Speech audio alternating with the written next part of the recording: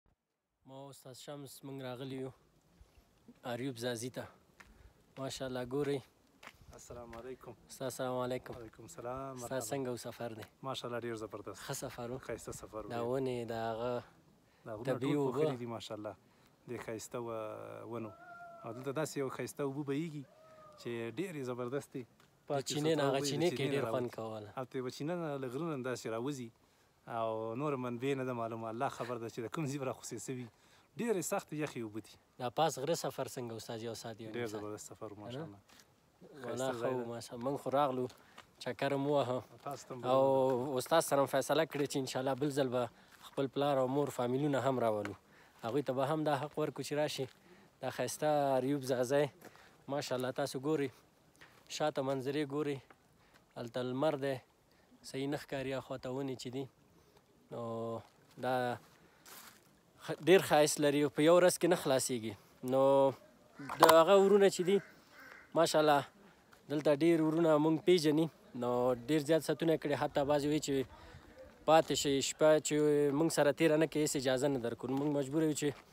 د ډیر مصروفیت د وجې لاړ شو نو که چیرته بل زر راځو هغه ورونه چې وخت لري یو شپه دوه شپې ته راشي چې دا ټول اریوب ځاځی او دا ټول شاوخوا ښایسته منظرې وګوري او بیرته لاړ شي